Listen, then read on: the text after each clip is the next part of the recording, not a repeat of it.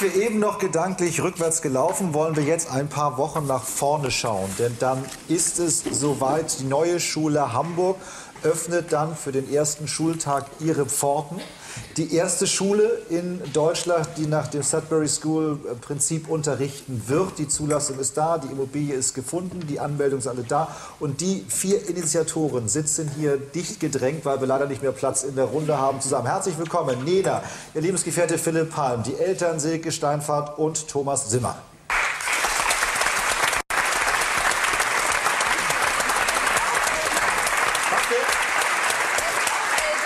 Simmer. Bitte, was? Wir sind auch Eltern. Auch, auch Eltern, Entschuldigung, also auch Eltern, auch Eltern. Ähm, jetzt, ist es, jetzt ist es wirklich bald soweit. Wie aufgeregt ähm, seid ihr jetzt alle? Also ich finde es schon mal ähm, ganz, äh, wie soll ich sagen, dass ich jetzt hier sitze und über unser Schulprojekt spreche, das finde ich schon gewöhnungsbedürftig. Ganz andere Rolle. Es ist einfach, ähm, ich bin auch mein Leben lang meiner Intuition gefolgt und vor zehn Jahren habe ich das zum ersten Mal ausgesprochen, dass ich eine Schule gründen möchte. Vor fünf Jahren habe ich erste Mal in der Öffentlichkeit darüber gesprochen und nun sitzen wir hier. Ähm, ich finde das, ich bin da sehr bescheiden mit und finde das ganz wundervoll, dass wir diese Möglichkeit haben, dass das in Deutschland passiert.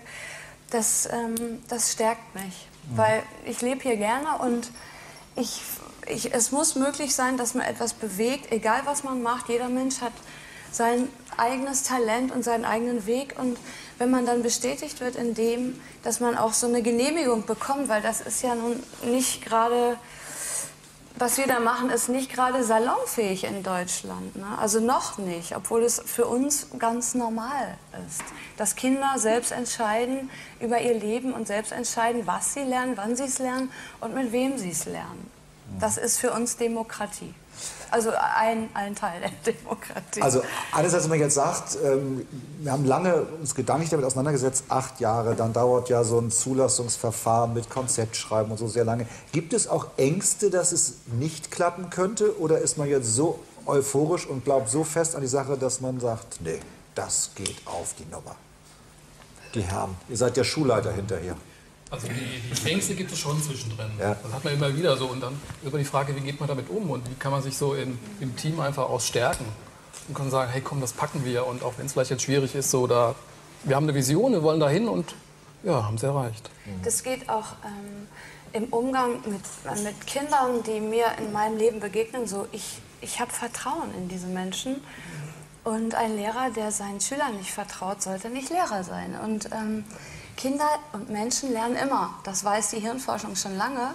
Und wir Eltern müssen uns keine Sorgen darüber machen, dass unsere Kinder nichts lernen, weil davor sind wir alle nicht, davon sind wir alle nicht frei. Wir lernen so oder so, ob wir wollen oder nicht. Sie, Sie haben sich mal äh, gegen das Wort Erziehung so ein bisschen gewandt, weil Sie gesagt haben, Erziehung ist ein Wort, damit kann ich eigentlich gar nichts anfangen. Nee, ich finde das äh, Wort Erziehung nicht so richtig, weil äh, da kommt für mich gleich so das Bild auf, ich ziehe das Kind so in meine Richtung.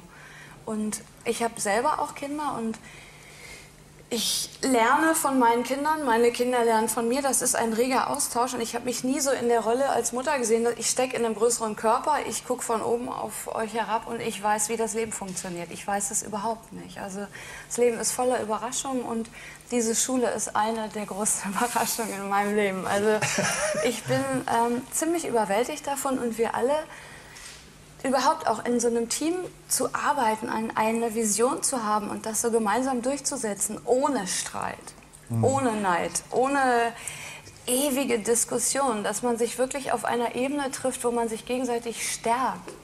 Das ist auch ein wunderschöner Aspekt dieser ganzen Sache, dass man eine Bank findet, die die Geld verschenkt an Menschen. Das habe ich überhaupt nicht gewusst, dass es sowas gibt. Das habe also, ich auch noch nicht gewusst. Das ist. das ist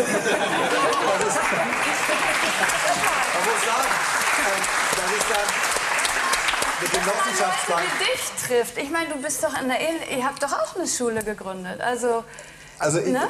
ich, ich, muss dazu, ich muss dazu mal sagen, ich, ich nehme mich da ja auch in der Öffentlichkeit äh, sehr stark zurück, weil ich gerade diese, diese, diese Macht der Elterninitiative, die ja. sich dort dafür kämpfend einsetzt, ich immer gesagt habe, nee, ich bin da lieber in der zweiten Reihe, weil diese Kraft so groß ist von den Eltern, diese Begeisterung, die dahinter steckt. Ja. Jetzt müssen wir noch ein bisschen über das Konzept, was, was ihr verfolgt, sprechen, weil da war ja in der Presse ein bisschen was äh, zu lesen. Man muss dazu sagen, dieses, äh, diese Sudbury School ist ja nicht ein Pilotprojekt, sondern das gibt es ja durchaus. Es gibt 30 Schulen weltweit. Nach welchen Prinzipien wird denn da jetzt wirklich unterrichtet oder die Kinder betreut oder herangeführt? Philipp. Interessante ist, dass es eben eigentlich keinen Unterricht gibt, nicht im klassischen Sinn, sondern in den Mittelpunkt gerückt sind die Kinder mit dem, was sie gern möchten, mit dem, was in ihnen liegt an Talenten, an Fähigkeiten. Und die Schule ist der geschützte Raum, in dem sie sich dem widmen können, begleitet von Fachleuten sozusagen. Lehrer im besten Sinne, als Fachleute für bestimmte Themen, aber auch als Leute, die sich begreifen, als jemand, der auch noch was lernen kann. Auf wie, wie viele Lehrer kommen auf wie viele Kinder? Wir haben 85 Schüler und fünf Lehrer. Und wie will man das bewältigen? 85 Kinder mit fünf Lehrern zu betreuen und individuell sozusagen zu betreuen? Stelle Also- mir sehr schwer vor. Lernen passiert ja ganz viel informell untereinander. Es gibt keine altersgebundenen Klassen oder sowas bei uns an der Schule, sondern alle sind zusammen in einem Gebäude und lernen ganz viel untereinander. Und abgesehen davon ist das Verhältnis 85 Schüler zu 5 Lehrern, 1 zu 17, das ist Bundesdurchschnitt an Schulen. Also das ist Wie, wie sieht Silke so, so, so, wir hatten gerade heute ein Vorstellungsgespräch einer wundervollen Lehrerin. Die haben wir auch gleich eingestellt. Also, das war in fünf, innerhalb von fünf Minuten klar. Und ähm, ich habe zum Beispiel nicht auf ihre Zeugnisse geguckt. Ich, ich habe ein Foto von ihr gesehen, habe sie eingeladen zu uns und habe mir erstmal den Menschen angeguckt, weil ein Zeugnis für mich nichts über einen Menschen aussagt. Und ähm, es war einfach schön, dass wir jetzt aber auch in dieser Situation sind. Lehrern auf der Ebene zu begegnen. Ich hatte selber nicht so eine ganz schöne Schulzeit, aber, Aber wenn ich ein Kind hätte, hätte ich schon gerne, dass die, die die Schule machen, mal gucken, ob der Lehrer, der den Kindern was beibringt, auch was kann. Aber hättest du nicht auch Lust, deine Kinder zu fragen, ob der Lehrer deinen Kindern gefällt? Ja, klar.